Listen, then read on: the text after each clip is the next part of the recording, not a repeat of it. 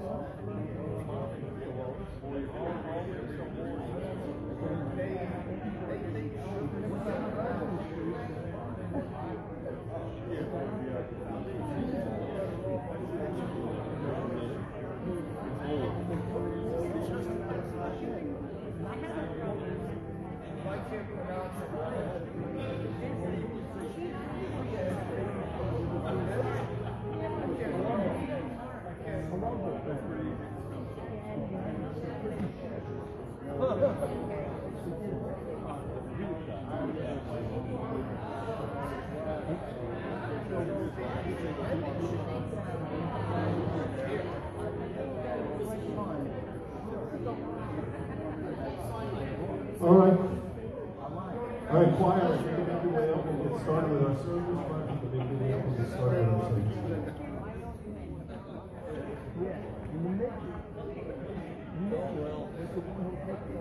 I'm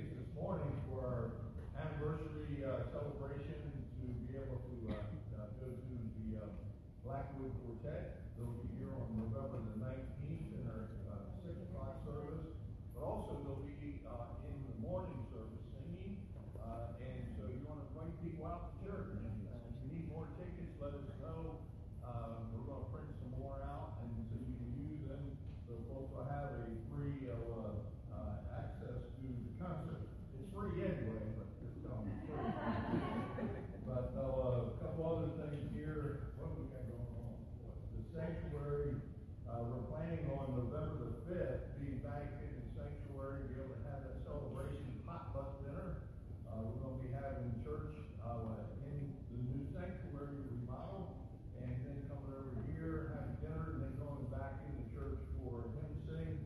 That'll all take place on November the 5th. So you be praying for the workers. They got half of the carpet ripped up right now. Uh, they got most of the laminate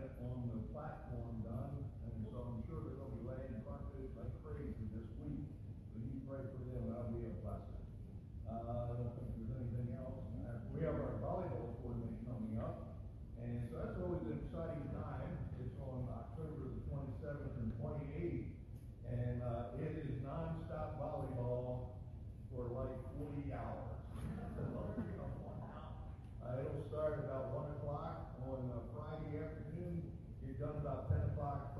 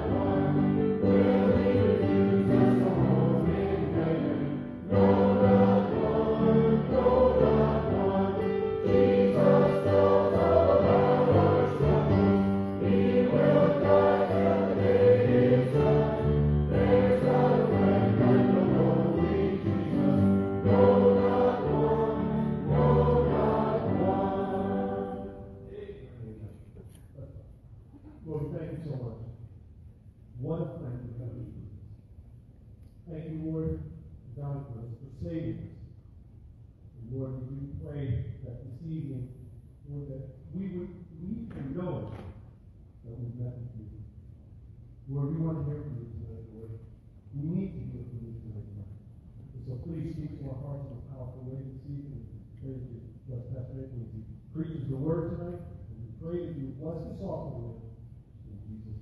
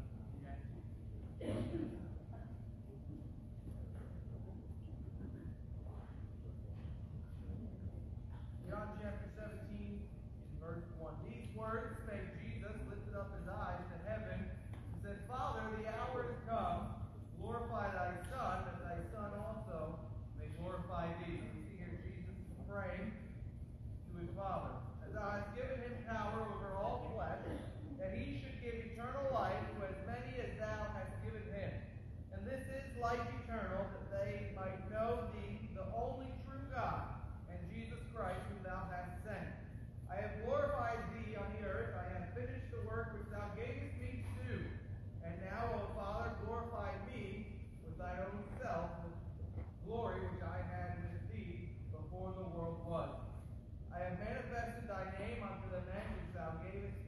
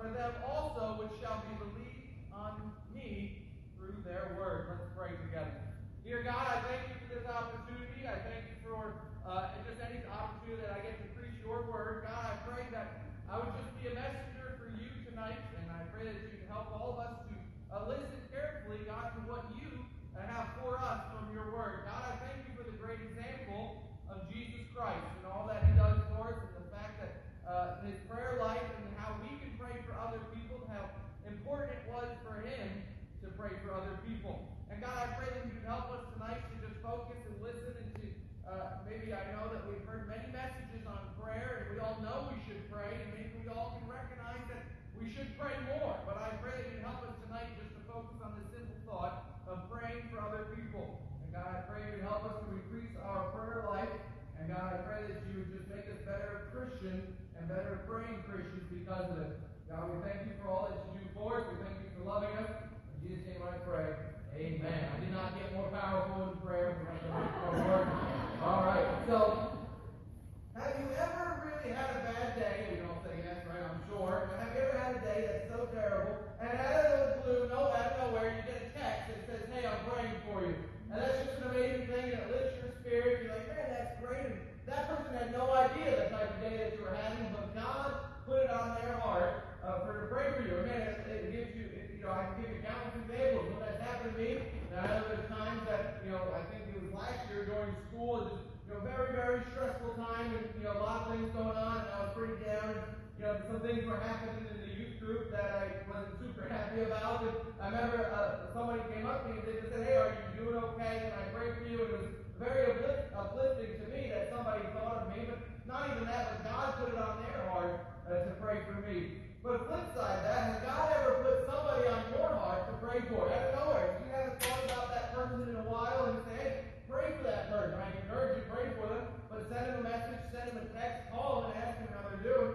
But prayer is important. We know that, and I know this is a Sunday night crowd, but if we're all honest with ourselves, prayer should be the most important thing in our life, but it's not. You know, when you wake up in the morning, what do you do? When you, before you go to bed, are you praying, or you know, is there other things that may be more important? You know, a lot of times, uh, you know, how much time you spend on different things is how much value you put on that. And it's sad to say that some of the the, the least things I do as a Christian is pray, and, and how much value do you put? There's some power. Uh, so how much value do you put on prayer? How much value? What is prayer? Prayer is simply talking to God. And again, I'm not going to preach specifically on prayer tonight. We're going to really focus on people and, and praying for other people. But what is prayer? Prayer is simply talking to God. And if your spouse, if your spouse didn't, you know, we had a couples retreat. I wasn't there, but uh, many of you were. And if your spouse didn't talk to you for the whole day, you were like, man, I'm not important to them. Well, how important is God to you? Talk to God, pray to God, but again, pray to God on behalf of other people. Prayer is not solely for selfish reasons. You know, James talks about you, you pray, but you don't receive because you're asking it for your own self. And uh, there is a point that we'll talk about. You can pray for yourself. You know, somebody's going to pray for you too. But realize it's not just to see what you can get from God. God is not a genie in the bottle that's just going to give you whatever you want. But we need to go to God on behalf of other people. God does great things only through prayer. If God is not involved, if prayer is not the priority, God is not going to do the work. God does work Christians who pray. Only God can change certain people. You know, there's some, you know, people that I've dealt with, and even teenagers and different, you know, family members or certain neighbors even, or friends that I've had that I know, nothing I say is going to change them. They're just, you know, whether they just set their thinking and you can try and talk, but it's like you're talking to a wall and they just don't care. The only God is going to change that person's heart. So when different people that you think about say, oh, well, I prayed for them and nothing changed. Well, continue to pray for them because God can do things that you cannot do. And prayer gets God involved. Prayer, man, I really should write neatly. Uh, prayer is vital for any relationship. And that goes with your relationship with the Lord. Prayer is talking to God. So it's just a few simple points. Figure out who you need to pray for. Be specific on what you're praying for them, and then stand back and watch God change that person. Whether it's change that situation. You may have a, tonight, you may be in a relationship or have a relationship that's broken between a family member or a friend or a coworker that you don't get along with. Uh, pray for them. Don't complain about them. Pray about them, and God will change the heart. Maybe you have a, a family member tonight who's not saved. I'm going to encourage you tonight, man, write that person down and pray for them. Uh, God just, you know, spoke to me as I was putting this message together, who I need to pray for, and hopefully, again, by the end of the sermon, you'll have a list of people that you know God has put on your heart pray for. You know, there's people in your life that I don't even know that God wants you to pray for that myself, Pastor, will never know, will never be able to minister to. They won't step into this building, but you know them, and you should be praying for them. So number one is the recipients of your prayers. Okay, the recipients of your prayers. Jesus said that he prays for those that are his. If you uh, we'll go back into our text, it says in verse 10, I'm sorry, verse 9, I pray for them. I pray not for the world, but for them which thou hast given me. Look at that. Thou hast given me. Man, that touched my heart when I was reading that in my devotion time. And, God just spoke to me. You need to pray for the people that I put you uh, responsible for. Number one, I thought uh, was pray for those that God has entrusted to you. Okay, uh, God has entrusted you with certain people, whether it's your family or whether it's just people that are in your life. You know, God has entrusted those people to you to pray for them. God gave Jesus the 12 disciples, and he had many other disciples, but he had a, a, group of 12 that he worked with, and then he had a core group of three, and he prayed for them. He said to Peter, I have prayed for you. You know, who are you praying for? There's people in your life that God has entrusted to you that you need to pray for. Uh, number one, again, you don't have one at some point, but you can go ahead and write different ones down. Number one for me was family.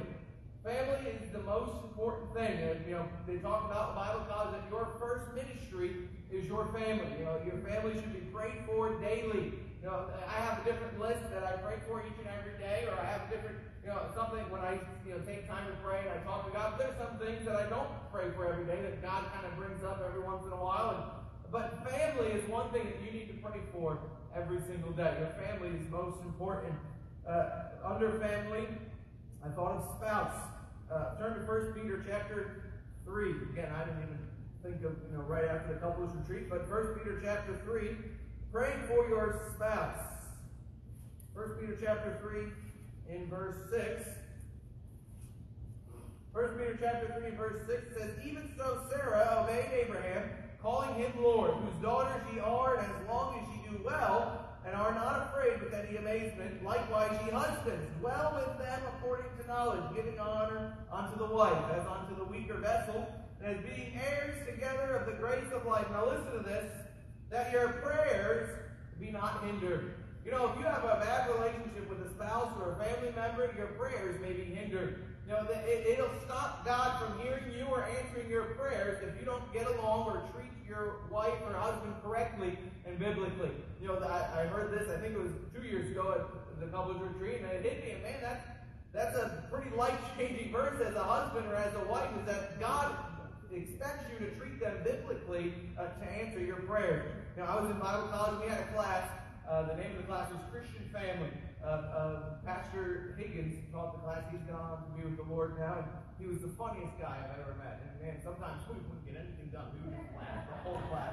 But he was great. He was a funny guy. But he was a very spiritual man. It was, you know, most of the men in that class was an all boys, uh, an all men class, and it was probably most of our favorite class. And the one thing he said, we didn't say many things. He said, I want to forget, but there's some things that are, you know, very spiritual. Again, it was a great balance. Uh, he said, listen to this, he said, it takes me a long time to pray for my family. You know, it wasn't a thing that, oh, God bless this person and my wife and my children, amen. No, it, he's specific about it. He said, hey, uh, I want this thing done in my husband's wife. I want this thing done in my children's wife. I want them uh, fill in the blank. I know you all have probably burdens and desires for your family. Pray about that to God. It shouldn't be a quick thing. It, you know, it's worth it. You, you, know, we talk about what is worth to you, your, your prayer time, talking to God, but is your family worth it enough to pray for them? So pray for your family, pray for your spouse, pray for those that you're investing in. Again, these are just some points. You can go ahead and write these down if you want, but I'm just going to list them. You can list some more things in there that people that God is putting on your heart to pray for. But you ought to be investing in other people. Uh, they used to say it all the time at Bible college that every Paul needs a Timothy and every Timothy needs a Paul. You need to have somebody you're investing in, and then you should be looking up to somebody as a mentor. Realize that you should be praying for that next generation. I hope it uh, blessed your heart. It blessed my heart last week. We had the, the, some teens come up and give a testimony, and I, you know, I'm very uh, proud of them and I love them. And I, I'm thankful for them. Kind of, you know, both of them pretty new to the youth group.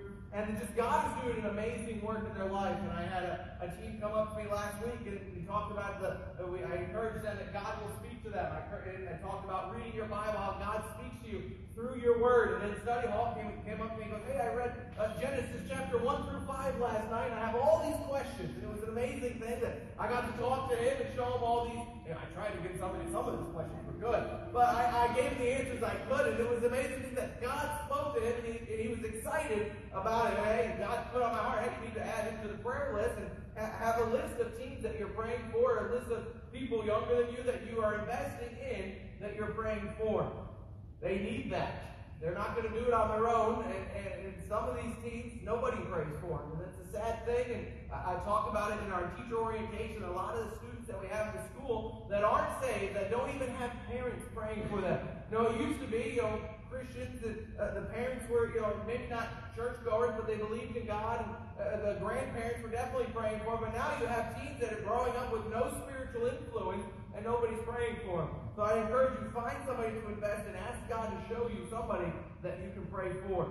Uh, not only your family and your spouse and people you're investing in, but also your church. You know, your church needs prayers. Your pastoral staff needs your prayers. And uh, you should be praying for your pastor. You should be praying for him and his wife, and, and just for the church in general. There's different church people uh, that need your prayers, and obviously we have a prayer list for that, and that's great. But, but God will put different things on your heart. You got under that you can put friends and neighbors and a whole list of people that you need to pray for. And again, it's anybody that God puts on your heart. And I hope throughout you know this message that God will put people on your heart to pray for. So not only did Jesus pray for those he was entrusted with, but he prayed for the unsaved. If you look in uh, John chapter 17, our text chapter, John chapter 17 and verse 19, he said, And for their sakes I sanctify myself, that also might be sanctified through the truth. Neither pray I for these alone. Because I'm not just praying for those, but for them also which shall believe on me through their word. You know, heard a lot about soul winning, about believing on Jesus this morning. You know, you should be praying for people that are unsaved. Uh, uh, turn with me, if you will, to Colossians chapter 4. This is a great verse. You say, well, how do I pray for them? I don't even know uh, you know, who they are. I don't know, you know, where they are or what I should pray for them. Don't just pray generally that, oh, Lord, help people to get saved. No, look at verse, uh, Colossians chapter 4 and verse 2. Continue in prayer and watch, and the same with thanksgiving, with all praying also for us that God would open unto us a door of utterance to speak the mystery of Christ, which I am also in bonds, that I may make it manifest as I ought to speak Walk in wisdom toward them that are without, redeeming the time. Let your speech always be with grace, seasoned with salt, that you may know how you ought to answer every man. So what are you praying for? You're praying for opportunity to preach the gospel to the unsaved. You know, a lot of times you pray, oh, well, Lord, if it be your will, answer this. You know, that's kind of like a, uh, some people will say that's a lack of faith. And, you know, the Bible says pray in God's will. Some things you don't know if they're God's will or not. But I guarantee you it is God's will for you to share the gospel with the unsaved. So if you pray that, God, give me an opportunity, give me a door of utterance, He is going to answer it. There's no doubt about it. It is God's will for you to preach to the unsaved. You know, give me an opportunity for my family member. Give me an opportunity for my neighbor, my coworker, just anybody that I see. Help me pray for it. Pray for an opportunity to share the gospel with them. But then take it. You know, many times I've prayed for it, and it was clear as day, God, that you know somebody's in front of me and they're willing to hear the gospel, and we don't give it to them. So pray for it, but then take the opportunity uh, to spread the gospel. Pray for, as the verse continues to say, that I may know how I ought to speak. You say, oh, well, I don't know what to say. Ask God to help you. God said, I'll give you anything that you ask if it's His will, and it's His will that you preach the gospel. So pray for the unsaved. Pray for a door of utterance. However long it takes, pray and ask God to help you to reach the unsaved. And then letter C here is pray for yourself. You say, that's a weird point on a message entitled Pray for Others. But in reality, you can pray for yourself. You know, somebody's got to do it. Uh, you have problems, and you have situations, you have struggles that you're dealing with. It is okay to pray for yourself. Look at 1 Peter, one, a great verse in the Bible, 1 Peter chapter 5 and verse 7. It says, casting all your care upon him, for he careth for you. It doesn't say casting all other people's cares. Yes, you should pray for other people. That's obviously the point of the message. But you can pray for yourself. You know, God is interested in you. You know, that's an amazing thing uh, uh, uh, that God wants to hear your requests. You know, you know, Terry's not old enough yet to ask for things, which is great, but sometimes she does. She wants her water, and she you know, very loud about it. And sometimes she wants things that she can't have, uh, like my phone. She loves to take it and then give it to me, but obviously sometimes she'll run away with it. And she's asking and asking and asking, and sometimes it gets to the point where you just want to give it to them. Uh, but think about it. Sometimes I don't want to hear it. I'm like, Charity, leave me alone. I'm trying to do something, or you know, uh, you can't have that for the hundredth time. But God never gets tired of you asking Him for your cares. It may be a small thing, it may be a big thing, but God never gets tired of you praying and asking for different things. So God cares about you. Be confident in that. God has never done anything to take that away from you. You know, sometimes people mess up. People will break promises, and you'll say, man, does this person really care about me? God has never done that to you.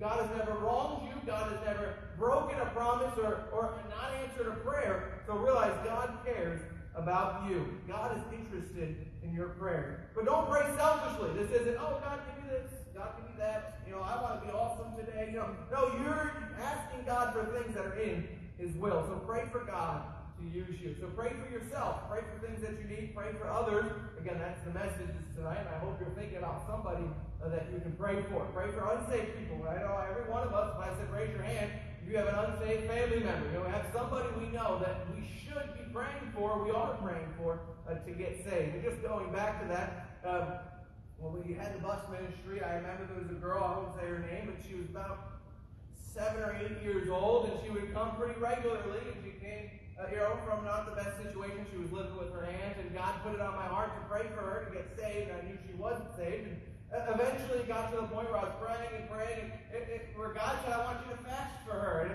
and if you look at me, I don't do much fasting, and it's not my favorite thing about Christianity, but I did. I took a day, and I said, God, I'm going to pray for this little girl that she gets saved. And I, think it was on BBS, uh, VBS or one Sunday, she came to me, and, and you know, she was all excited. She goes, oh, I got saved. It was amazing. And, was, and God answered that prayer request because God put it on my heart to pray for that little girl, and she got saved. But that was pretty quick. I think it was maybe a year praying, not even. And God answered, maybe she got saved. But I, I think of my mom who prayed for her mom for over 20 years to get saved. And she, man, she prayed and prayed, and she'd bring her, you know, the Bible, and every, I felt like she was giving her Bible every other birthday, and she would write her letters. And why? Because she wanted her mom to get saved. And I remember she eventually did get saved, and then she went to the prayer advance, and it was just an amazing thing. Why? Because she didn't stop praying. And there may be somebody in your life that you may have stopped praying for. You say, oh, well, they're not going to get saved. They don't even talk to me anymore. They don't even like me. Realize God can still do a work in their heart. Praying. Don't stop praying, God is not going to stop working. So pray for others, pray for yourself, pray for unsaved, but also, what is the purpose of your prayers? The purpose of your prayers. Think about it. Why do you pray? You say, oh, well, I want, I want to talk to God. I want to do different things. I want to be spiritual. I'm supposed to pray. What do you mean, why do I pray? Well, why do you pray for other people? Uh, what is your motivation behind it? What's the purpose? The purpose of prayer is for God to get involved. It's for God to be glorified.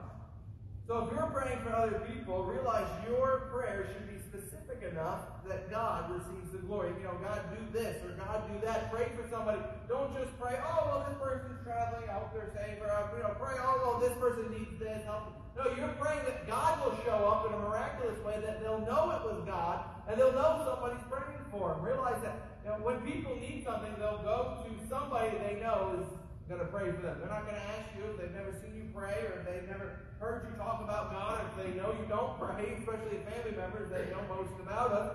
Realize that you'll be known as somebody who prays. Uh, be specific in what you pray for. So, what do we pray for? Letter A here is physical need. Uh, turn with me, if you will, to James chapter 5. A lot of times we'll read James 5.16, but we're going to back it up and read James 5.15. James 5.15, a physical need, talking about a health need. It says, And the prayer of faith shall save the sick. And the Lord shall raise him up, and if he committed sin, they shall be forgiven him. Confess your faults one to another, and pray for one another, that ye may be healed. The effectual, fervent prayer of a righteous man availeth much. And obviously, you know, I mentioned my mom earlier, not everybody gets healed.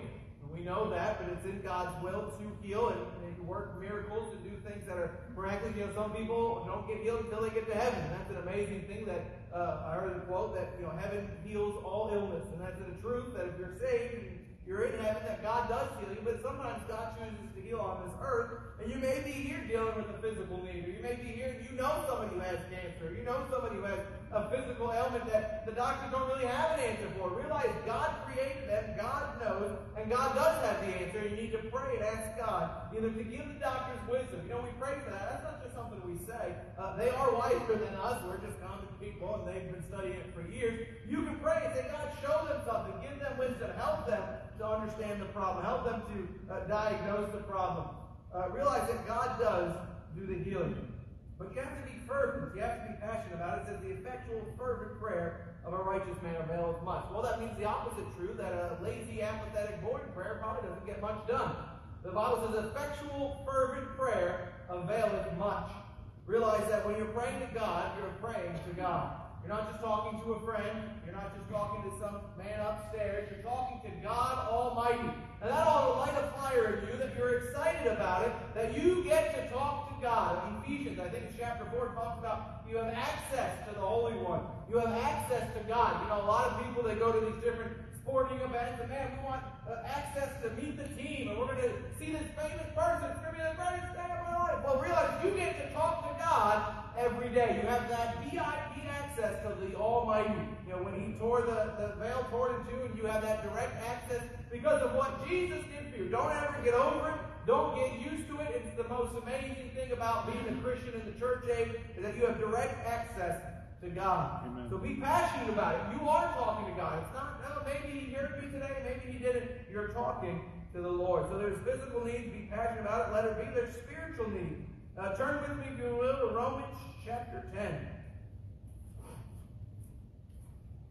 In Romans chapter 10 and verse 1, Paul had a prayer life and he prayed for people's spiritual needs. He said, Brethren, my heart's desire and prayer to God for Israel is that they might be saved. And that ought to be your heart's desire and your prayer, and you, that you can't get enough of praying for people to get saved.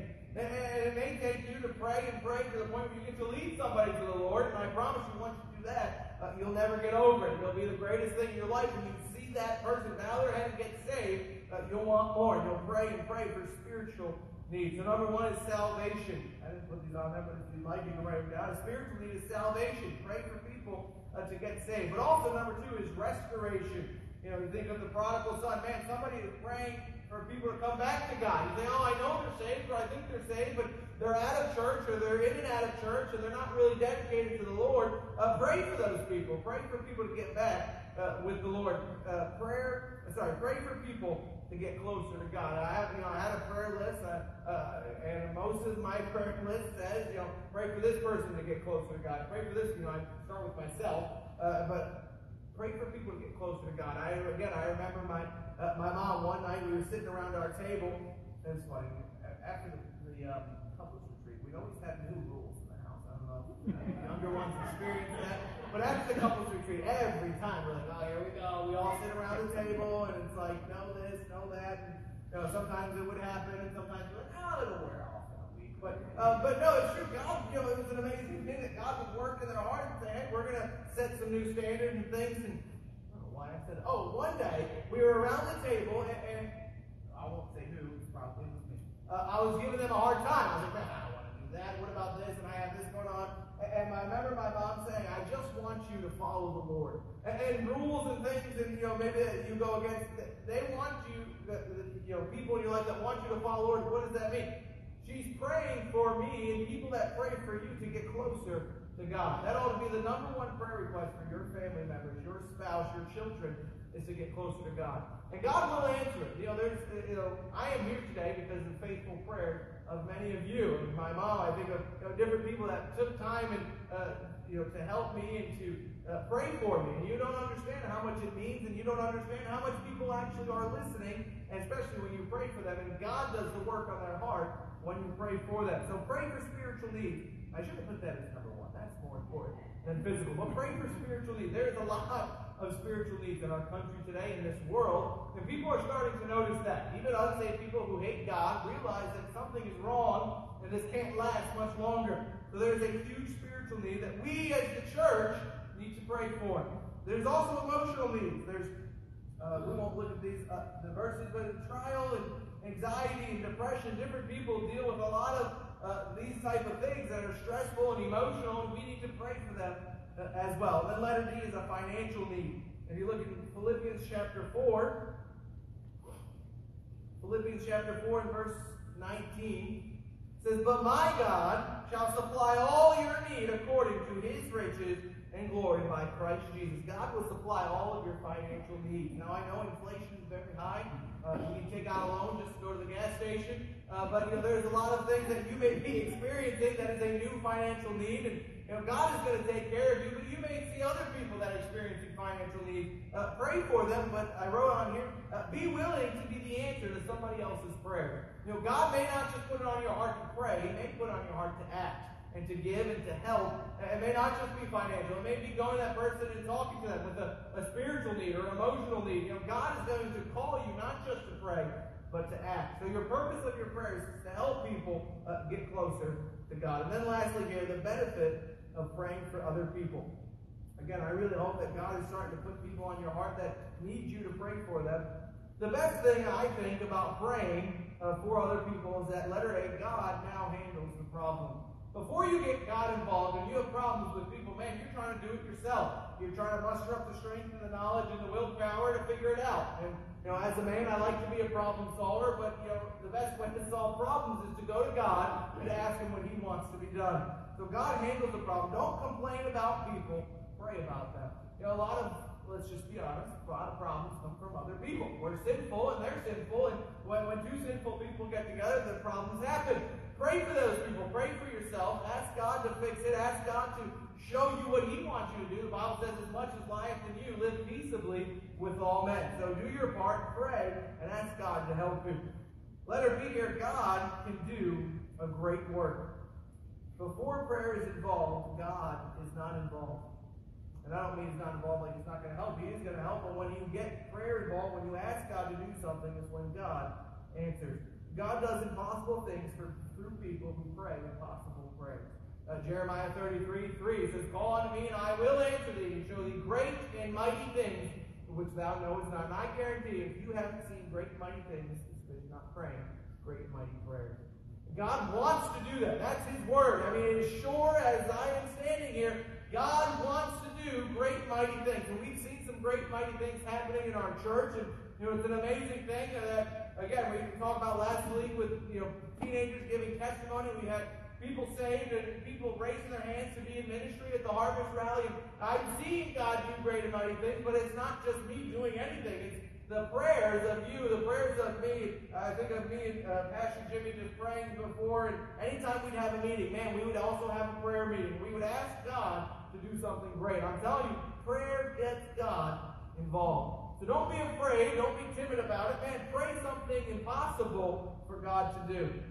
God can do anything. It doesn't take away from the little things that you can pray for. God, I just need help with this one little problem, and God can help you with that as well. Prayers are the start to the means of the work of the ministry. So prayer is the starting point. It's not, oh, everything else failed, let's ask God. No, start with prayer. God, I have this problem, I have this situation. Give me the, uh, the means to do it. Everything is done through prayer. You know, I, I, man, I was putting this message together. I was like, oh, well, I'm going to talk about the examples throughout the Bible of people who prayed for other people. There's just so many of them. We would be here all night. I think of Moses, man, he interceded for the whole nation of Israel. And God said, hey, I'm not going to do that evil. I'm not going to do all these consequences to you. Why? Because of one person that prayed to God. If there's just one of us here, if all of us here pray to God, imagine what we can do, or what God can do when we get Him involved. You know, think of Jesus. He said to Peter, I have prayed for you. Well, guess what? Peter failed, and he denied him. But after that, what happened? He started, he had the day of Pentecost, and he was a, a great apostle for Christ, and he wrote some of the Bible, and he did all these things because somebody, the Lord Jesus, was praying for him. So the work of God can be done through Christians who pray. And then lastly here is God is glorified. You know, God created us to bring him glory. He didn't create us because he was bored and needed something to do. He didn't create us because he was lonely. He created us out of his love, the perfect triune love of the Trinity. Out of that outpouring of that, he wanted to share that with his creation. He does that so we can now love him back and glorify him. Bringing glory to God must start with prayer. Prayer is talking to God to bring out the work of God, to bring glory to God. Let me say that one more time. Prayer is talking to God to bring about the work of God, to bring glory to God. If you want to bring glory to God, I'm sure we all would. You know, you're here at church and you're trying to worship God and bring glory to God. Well, pray to God. and He'll show you what He wants you to do, and then follow it. People will know if you actually pray talk to God. You know, there's you know people here that I know, and, and when I was younger, and I'm here, and even in college, that they would text me and say, "Hey, I'm praying for you," or they'd send me a card, and you know, different things like that. People will know those who talk to God. When people need something done, when people need somebody to pray for them, do they call you? Do they talk to you? They say, hey, can you pray with me? People will know if you're a prayer. Your spouse will definitely know. Your family will know if you pray. So, in conclusion, praying for? And I hope tonight, again, I know it's a message on prayer which you've heard before, but I beg you, I plead with you, make a list praying for other people. There are, again, there are people who nobody's praying for that God has put on your heart to pray for them. And if you don't pray for them, who is going to? We have, who have you stopped praying for? You think about unsaved family members, you think about neighbors, you think about, uh, you know, just co-workers. Who have you stopped praying for? Who is God trusted in your care that you need to pray for more? Your family, your school, think of the Christian school we have here, and the ministries that you're involved in, whether you're a Sunday school teacher or a children's church helper, bless God for you. Um, if you're an usher, man, it, doesn't matter if you're a choir member. Who are you praying for in your ministry? You know that God has placed you in that to make a difference, to be a light, to, to you know the reason that you're there is to bring glory to God, but to pray uh, with that group of Christians. You don't pray, who will? If you don't pray, who will? And you say, oh, the person next to me, what if they're thinking the same thing? Pray to God, talk to God. There are so many problems in this world. We know that, but we can't just talk about them. We have to pray about them. Bring them to God who's going to solve them. Some people have no one praying for them, and some of that is our fault. Some of it is our fault that there's people out there that nobody's praying for. I think of, you know, I always think of my neighbors that we talk to, we're friendly with, but they don't know God, and we haven't told them about God. And yes, you know, we pray for them when I think about it, but maybe God wants you to pray even more and pray every day and, and bring them to the throne. Pray for a door of utterance that you can spread the gospel to them. Who is God putting on your heart to pray for? God gives us access to Him to help others. The Bible says, I, I always Hebrews chapter, I think it's 4, it talks about to pray, uh, that you may boldly approach the throne to pray. Again, I'll mess it up. At, at the end of the verse, it pray to help in time of need. Meaning that when you need God, He is always there. You know, people are going to let you down. You may call and say, oh, I need uh, I need help. Call somebody, call Pastor Anthony. I may not have my phone on me, and I'll let you down, and you may hold it against me. But you can always talk to God. The 24 7 self service that is always there. Uh, again, we don't, you know, sometimes you have a you have your phone and service goes out. It's the worst thing ever. I remember we I would talk on the phone, not while I'm driving. Well, I got pulled over for it, so sometimes. But I would travel home from college very late, very tired, and my dear wife would call me. She's not my wife at the time, but just to help me stay awake.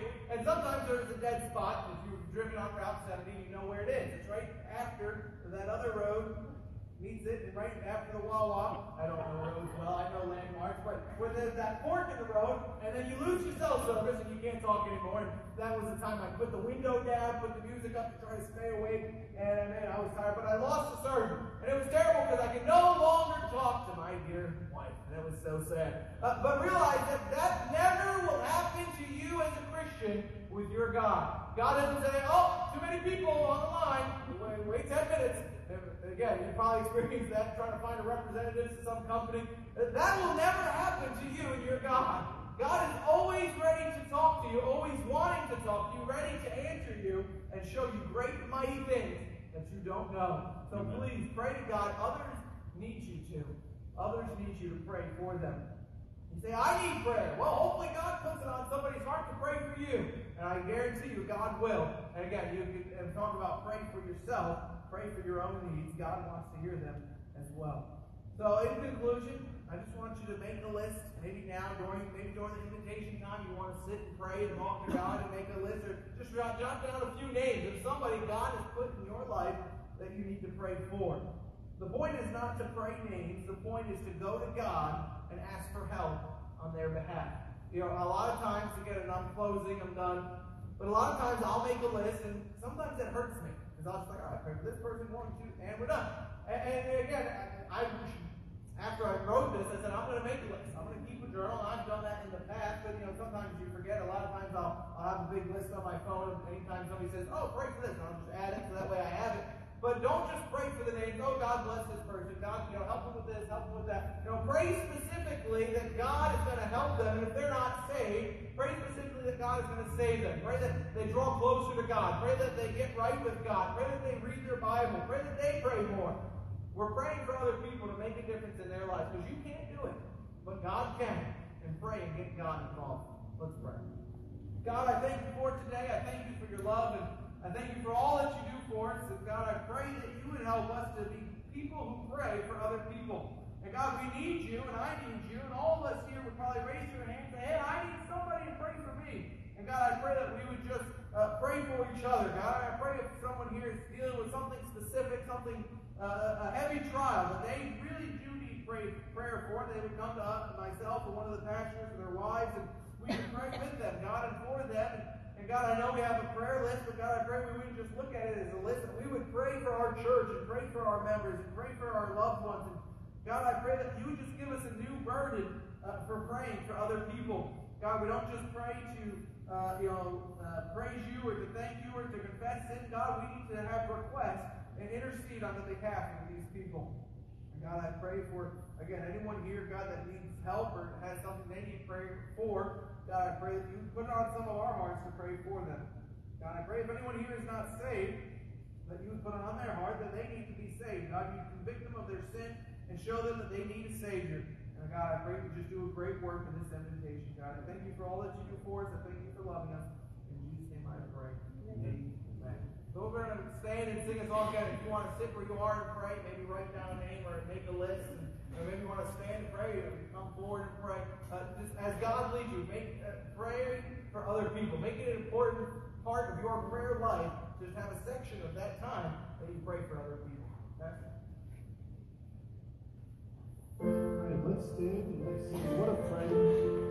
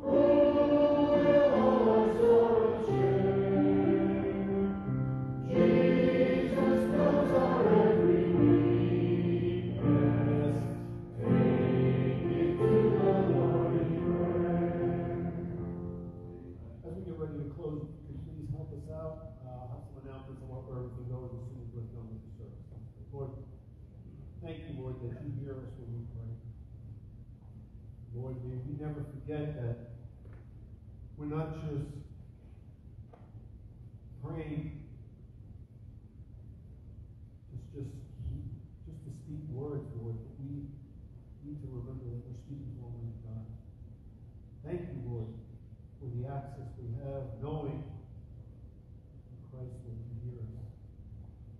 Lord, we know that there's many needs and many trials we may be dealing with. Lord, you know every situation in our life and Lord, in our lives, and Lord, you care about each and every one. Thank you, Lord, for hearing us, for answering our prayer. Lord, we're thankful that we call upon you, knowing that through the power of prayer, Lord, you can do great things for us. Lord, we pray that you bless us we're this evening. Lord, we ask your safety as we travel. In Jesus' name. Amen. All right, as we get ready to close, the chairs need to get stacked up in this section and in the back section. The metal chairs get folded up on the rack. Do not put any chairs in the middle two sections. We have volleyball games this week, and we need those for the benches. Just stack them where they're at, we'll have a couple guys come out with chair carts to move, so you guys can just stack them where they're at in the section. Thank